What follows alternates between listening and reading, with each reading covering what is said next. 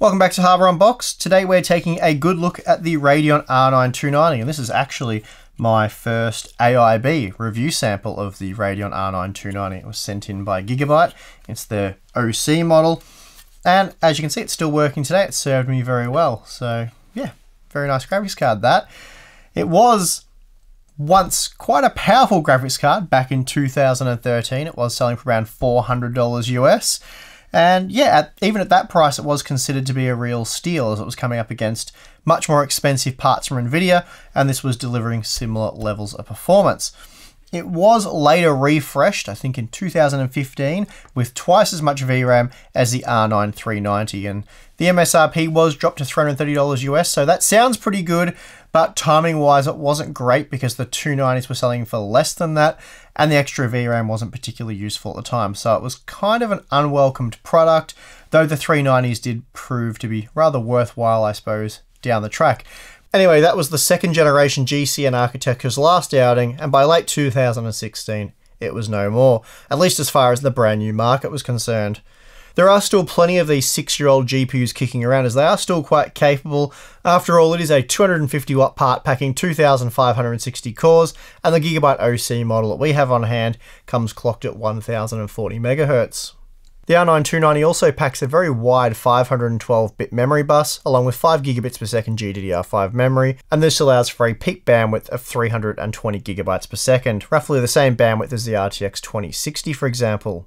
So it should still be able to tackle the latest games with relative ease, and that's what we'll be looking at today. For this one, I'll be looking closely at performance at 1080p in about a dozen titles, and then we'll jump to a 33 game breakdown comparing the R9 290 and RX 570 head to head. The test system used includes the Core i9 1900K clocked at 5GHz with 32GB of DDR4 3200 memory. As for the drivers, we used Adrenalin 2019 edition 19.2.3 for the Radeon GPUs and Game Ready 419.35 WHQL for the GeForce GPUs. Okay, time for some benchmark results. First up, we have Apex Legends, and for gaming at 1080p, the Radeon R9 290 still has what it takes, delivering over 60 FPS on average with a 1% low of 53 FPS, so very playable performance. This placed the R9 290 on par with the GTX 1060 3GB and just behind the Radeon RX 570. Again, very respectable performance from the now 6-year-old GPU. Moving on to the Division 2, and here the R9 290 was again able to deliver playable performance and while it did fall short of 60 FPS with the ultra quality preset, it was still able to match the RX 570 and GTX 1060, so really not a bad result at all. Frame rates in Shadow of the Tomb Raider were quite impressive. Here the old 290 beat the 6GB 1060 while falling just shy of the Radeon RX 580. Again, it did just fall short of averaging 60 FPS, but even so the resulting performance was still very playable.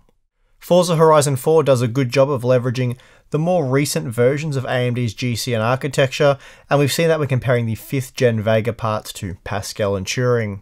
That said, the 4th gen RX 570 is considerably better than the 2nd gen R9 290, providing 18% more frames on average. That's a pretty big performance improvement for the RX 570, and it'll be pretty interesting to see if there are many or any other games to show these kinds of improvements. Next up, we have Hitman 2, and here the R9 290 RX 570 are basically delivering identical performance. The 290 did fall short of 60 FPS on average, but with the same 51 FPS 1% low as the RX 570, the experience was basically identical. The R9 290 did struggle a little in Just Cause 4 with just 46 FPS on average. That said, while it did fall just short of the RX 570 and 3GB 1060's average frame rate, the 1% low was actually slightly stronger. Overall performance was decent, certainly playable, but ideally you will want to turn down the visual settings for slightly better frames. Moving on, we have Resident Evil 2, and here the R9 290 was very playable at 1080p using the maximum in-game quality settings, averaging 72 FPS. This did place it a little bit behind the RX 570, but it did manage to match the GTX 1060 6GB. As you might have expected, the R9 290 does rather well in Fortnite, averaging 74 FPS with the epic quality settings enabled. This placed it on par with the RX 570, and while this did make it a good bit slower than the RX 580 and GTX 1060 in this title, it really doesn't matter too much for those playing at 1080p. Frame rates in Metro Exodus weren't great, it has to be said, and with just shy of 40 FPS on average, it did match the RX 570, but like I said, overall performance wasn't great, and you'll certainly want to dial back the quality settings a little. The R9 290 was ever so slightly down on the RX 570 in Rainbow Six Siege, and while this meant it was able to deliver playable performance, for a smoother experience you will want to turn down some quality settings, and turning something down like the render scale with TAA enabled will solve the issue pretty easily. Battlefield 5 was also playable using the old R9 290 and this time was roughly on par with the RX 570 and that's something we've seen quite a bit of now. It seems as though for R9 290 owners, you really need something like an RTX 2060 or Vega 56 to be a worthwhile upgrade. Now, the second last game that we're going to look closely at is World of Tanks, and here the R9 290 averaged 74 FPS to match the RX 570 exactly. With over 60 FPS for the most part, performance was very smooth, and for those playing at 1080p, I'd say the R9 290 still provides ample frames. And last up, we have Far Cry New Dawn. Here, the R9 290 averaged 70 FPS, allowing it to match the GTX 1063GB and RX 570. For this title, 70 FPS on average with a 1% low of 60 FPS is perfect. And for those who possess a 144Hz display will no doubt want more, those making do with 6 year old tech will be very satisfied. Of course, one of the downsides to using old hardware is power consumption, and by today's standards, the R9 290 isn't exactly efficient, or at least it isn't very efficient. After all, this is a 250 watt TDP GPU delivering similar performance to an RX 570, a 150 watt TDP part. This meant for roughly the same performance, total system consumption increased by 32% with the R9 290, so that's not great, but a decent 600 to 700 watt power supply will have you covered. Okay, so there you have it, the Radeon R9 290 in 2019. Though so far we have only looked at 13 of the 33 games that I tested. Uh, I did that to spare you having to go over the other 20 titles. That would have taken quite some time. So we're just going to jump to one of those head-to-head -head comparison graphs and we'll check one of those out in a moment. Uh, also, please note for any of you wanting to check out results for other games, Prey, Warframe, and well, the other 18 games that we didn't look at, uh, you can do so for free on our Patreon page. So the link for that will be in the video description. Anyway, I think it's about time we jumped over and had a look at the 290 head to head with the RX 570. This is pretty much what we were expecting to see based on the 13 game sample we just looked at. The Radeon R9 290 was just 2% slower on average when compared to the RX 570, but we do see a few games where it was slower by a 7% margin or greater. Likewise, we also see a few examples where it was faster by a 7% margin or greater. For me, the Wolfenstein results aren't that surprising. This Vulkan based title is really good at utilizing many cores, and with the R9 290 packing 25% more cores and 43% more bandwidth, it's technically the more powerful GPU when properly utilized. Granted, it doesn't clock quite as high, but when comparing AIB models, the clock speed deficit isn't that huge.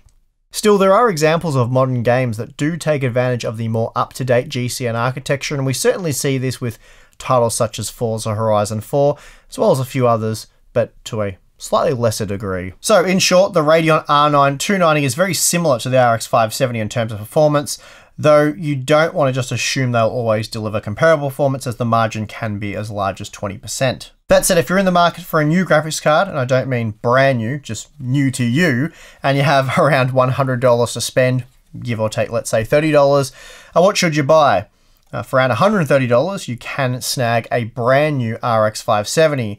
Uh, meanwhile, for around $80 US, you can get your grubby mitts on a second-hand R9 290. Uh, that appears to be the average selling price on eBay right now.